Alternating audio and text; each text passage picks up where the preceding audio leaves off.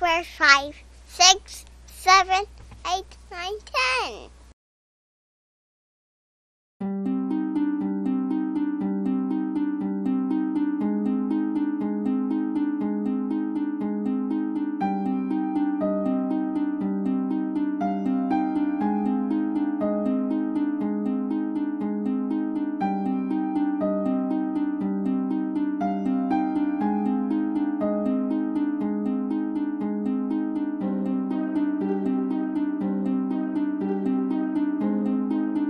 Receiving a mandate in 2011 to form a majority government Stephen Harper's first address to the Canadian people included a promise.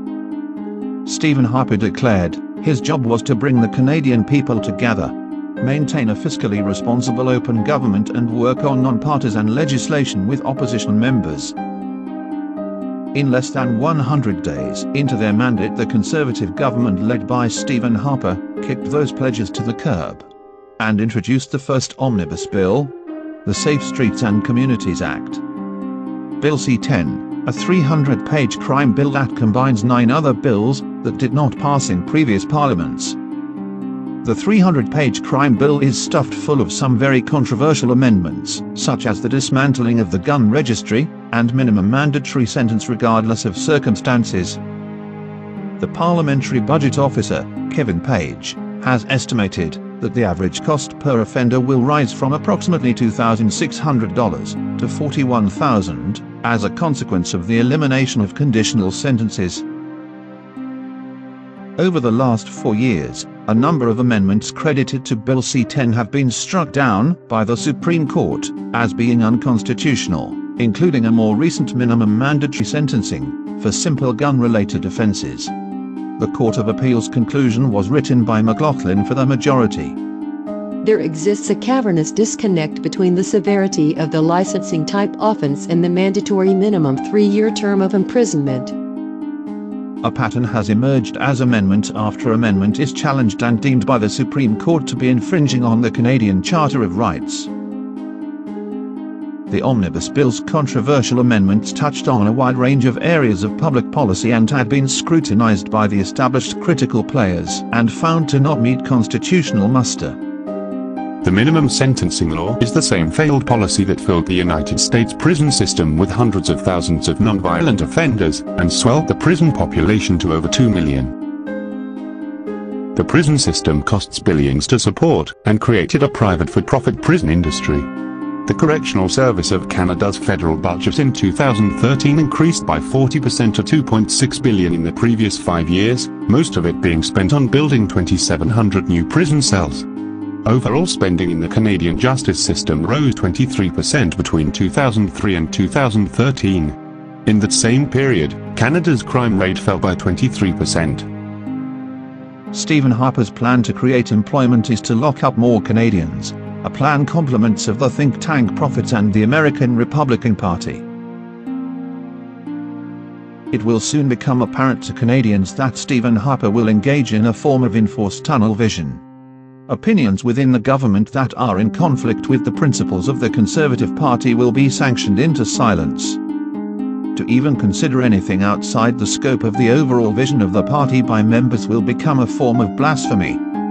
Stephen Harper sees only one solution for Canada, neoliberal austerity measures proclaimed by the think tanks as the only path to more profits for the top 10%. Dismantling Canada's social safety net and the rights of Canadians to object is the final push to mold Canada into a confused mix of greedy libertarians who use social conservative religious values to justify nationalistic beliefs of chauvinistic superiority and want a government no longer concerned with the welfare of the poor, only the rich. Exactly what the conservative movement in the United States has degraded to. For the next four years Stephen Harper and the Conservative Party will conduct an all-out assault on the principles of democracy, and cause major disruptions to the social and political landscape of Canada.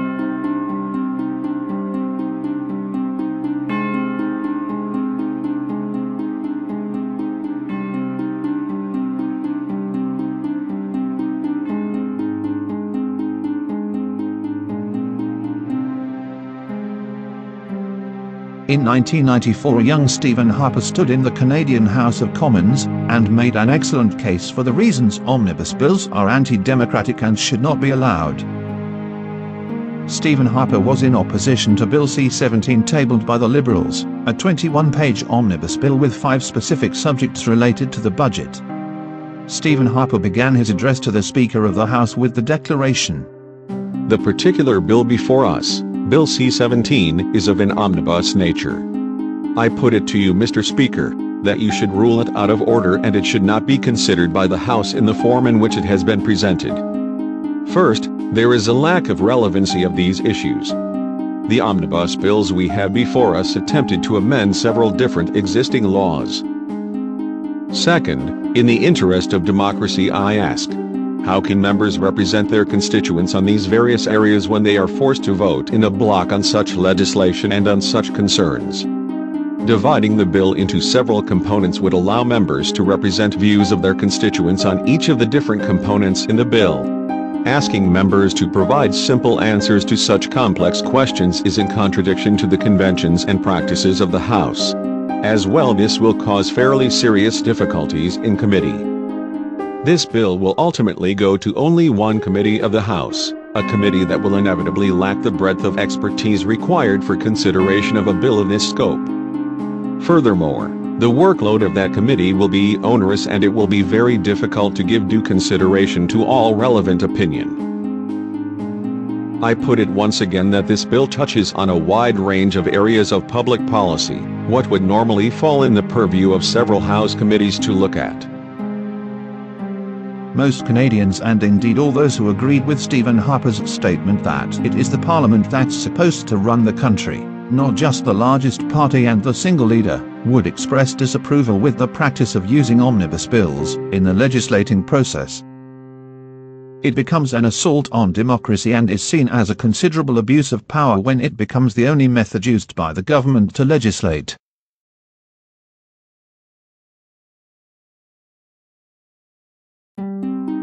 The Conservative government's second omnibus bill arrived in April of 2012. Bill C-38, the Jobs, Growth and Long-Term Prosperity Act. A 425-page budget bill that affected 74 regulations or acts of parliament. Amendments to a number of acts have been labeled by experts and watchdogs from the public and private sector as highly partisan and far-reaching outside the scope of a budget bill in an overview of Bill C-38 by the Environmental Law Centre. It substantively changes federal environmental law in Canada. Over 10 pieces of federal environmental legislation are amended or repealed by Bill C-38. As well, Bill C-38 amends the charity provisions of the Income Tax Act which may have profound implications for many of Canada's environmental organizations. Again the members of parliament were forced to vote one time, in a block, in line with the party on all of the legislation included in the omnibus bill. Canadians have every right to be suspect of omnibus legislation and a government that uses them, especially when the scope is wide-ranging. A hydra with many heads, it's not easy to determine their motives and long-term ramifications. The Harper government's unrelenting assault on Canada's democracy continued when they introduced a third omnibus bill in December 2012. Bill C-45, the Jobs and Growth Act. Bill C-45 was widely condemned right off the start. A 400-page omnibus bill that changed the legislation contained in 64 acts Critics charged the Conservatives had failed to adequately consult with experts or Indigenous peoples when crafting the amendments to the Indian Act, the Navigable Waters Act, and the Environmental Assessment Act. Bill C-45's language raised a number of concerns with the Aboriginal people of Canada, giving birth to the Idle No More movement. One alarming provision allows the Aboriginal Affairs Minister to call a meeting to consider surrendering band territory. An informal but binding vote can be conducted at these meetings regardless of how many people show up. The minister can choose to ignore a resolution from the band council that's in opposition to a decision at the meeting. Previously, approval required the support of a majority of eligible voters. The recklessness of the Harper government's legislating process has ignited activist movements across the country. Bill C-60, Economic Action Plan 2013, Act 1. At only a 128 pages, but still of an omnibus nature, Bill C-60 was branded as an attack on the CBC, Canadian culture and press freedom. Since the rebirth of the Conservative Party of Canada in 2003, CBC has been a target. Stephen Harper has made repeated attempts to convince Canadians the natural ruling party of Canada is the Conservative Party. The CBC is superb at representing the Canadian culture, and as we have seen from the election results, a greater number of Canadians vote left of the Conservative Party. The cultural dominance will inescapably be evident in CBC's programming. The CBC is after all a crown corporation, and expected to generate revenue. That business model requires a loyal base of Canadians to utilize the services. It would only stand to reason that to the extent the Conservative Party has demonized the CBC, Conservative supporters would not be interested in utilizing the CBC's news and entertainment services. By slashing the budget the Harper government is in fact forcing the CBC to narrow the user demographic. Harper's attack on the public broadcaster has not gone unnoticed by the loyal viewers and supporters. Canadians have always counted on the CBC to be a reliable news source, independent of the corporate influence of the monopolized media conglomerates and the ruling government. A letter to Stephen Harper in May of 2013, signed by 16 eminent Canadians from the worlds of journalism and academia expresses deep concern with Bill C-60. Bill C-60 proposes to amend the Financial Administration Act to permit the government to set the mandate for and audit CBC's collective bargaining, as well as give the government a veto over CBC's collective agreements. This means that the government would become the effective employer of CBC's personnel, including its journalists, producers and story editors. Such powers would intrude into the CBC's independence, well beyond its employees' compensation. Conditions of work are an integral part of CBC's collective agreements with its various employee groups. Such conditions currently provide assurance of the integrity of CBC as an independent national public broadcaster, as required under the Broadcasting Act. We can see the last vanguards of the CBC, its unions and workers being used as scapegoats. Stephen Harper has a plan for the dismantling and privatization of the CBC. Nine of the 12 current board members are appointed by Stephen Harper and loyal party supporters and donors to the Conservative Party. The Conservative mandate has made it quite clear, the Harper appointees are there for no other reason than to help facilitate the demolition of the public broadcaster. An argument has been presented that the unions also make political contributions but that would be what is considered a straw man argument, considering the unions have no control over the future of the CBC, unlike CBC's board of directors. The CBC has stopped making documentaries, and almost all of their production work is now outsourced. Valuable resources that help Canadian filmmakers produce Canadian cultural content are no longer available. If the Conservative Party remains in power it's only a matter of time before the Broadcast Act is stripped down by an omnibus bill.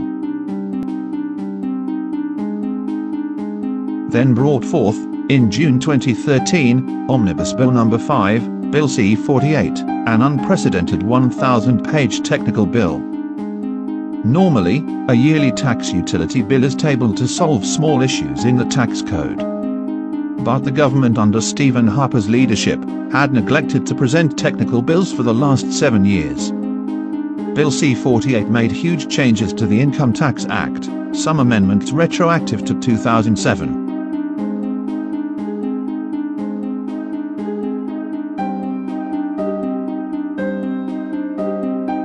In November 2013, Bill C-4, Economic Action Plan 2013 Act 2, a 321-page omnibus bill that slapped Labour in the face. The Public Service Alliance of Canada reported.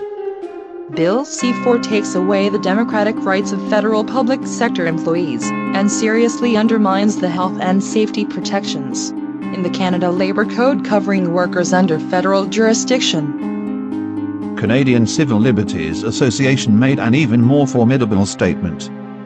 C10 is a violation of nine of the most fundamental civil rights conventions in international law, the International Covenant on Civil and Political Rights. Stephen Harper's neoliberal fiscal tunnel vision and ideology demands he attack public service employees and organized labor at every opportunity. Organized labor could be described as the arch-enemy of neoliberal fiscal policies. Unions crushed predatory capitalism after the Second World War. Stephen Harper, a graduate of the Calgary School of Economics and a missionary for Milton Friedman's free market economic prophecies knows that fact. The scheme to continue to funnel money to the top can only be maintained if the cost of labor drops and workers are kept in economic terror. Then Omnibus Bill number 7. Stuffed down the throat of democracy in March 2014, Bill C-31, Economic Action Plan 2014 Act, 1. The 375-page Omnibus Bill showed Canadian Stephen Harper and the Conservative caucus had abandoned Parliament and were exclusively ruling by decree. Elections Canada was reduced to a small child told to go sit in the corner, face the wall and read the new rules written in crayon. Number 18 December 2014, Bill C-43 Economic Action Plan 2014 Act, Number 2. Another 425-page omnibus bill made it quite clear Stephen Harper and the Conservative Party of Canada have simply gone mad and abandoned the principles of democracy. At this point the substance of these mammoth omnibus bills is irrelevant. The obvious abuse of authority is now the only factor. Then in 2015, just days after the attack on the Canadian Parliament by a lone Islamic extremist, Omnibus Bill C-51 was tabled. The bill opens the door for massive surveillance operations by government security agencies and private contractors, targeting more than just the Islamic extremist, but Canadians who protest government policies. Stephen Harper's Conservative government's use of omnibus legislation is unprecedented in Canadian history. Lawrence Martin in an article in the Globe and Mail published Monday, April 6, 2015, titled It's Not Just Duffy, the Harper era is on trial. Martin referred to omnibus bills as democracy shredding when describing the Harper government's serial breaches of the public trust. More serious for conservatives is that the Senate scandal might reopen the vault on the larger abuse of power narrative that has dogged the Harper government. It may be seen as a microcosm of the serial breaches of the public trust, the undercover dirty tricks, the smear campaigns against opponents, the altering of official documents, the democracy-shredding omnibus bills. Over the past four years Canadians have indeed been witness to a serial assault on the country's legal and economic framework, cultural values, the working class's social safety net, organized labor, and what was left of the Keynesian-era market protections. Stephen Harper's conviction to the free market laissez-faire capitalist structure, his libertarian fiscal austerity ideology, and his social conservative values has been well known for years. A look at his past revealed that fact. But now it has become quite clear, Stephen Harper's well-publicized statements championing his democratic values were nothing more than a facade. The principles of good governance and democratic freedoms are in the way of what many conservative Canadians thought to be the great virtuoso of democracy, who has now been revealed to be the Mad King who rules from the Iron Throne, using omnibus decrees.